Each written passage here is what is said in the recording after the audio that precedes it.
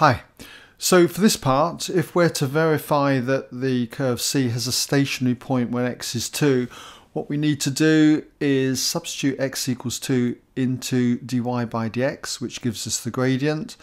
And remember that when you've got a stationary point, you would expect the gradient to be 0.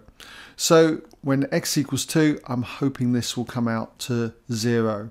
So we'll just put this down, that when x equals 2, the gradient, which is given by dy by dx.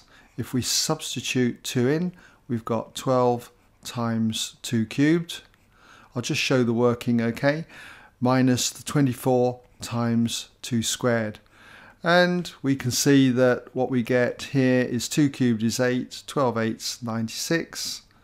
And then we've got 2 squared is 4, and then 24 times 4 is 96 so we end up with minus another 96 and that gives us 0 okay?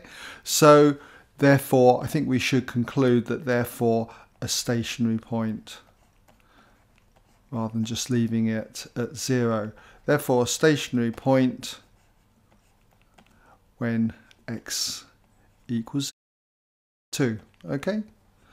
And there we go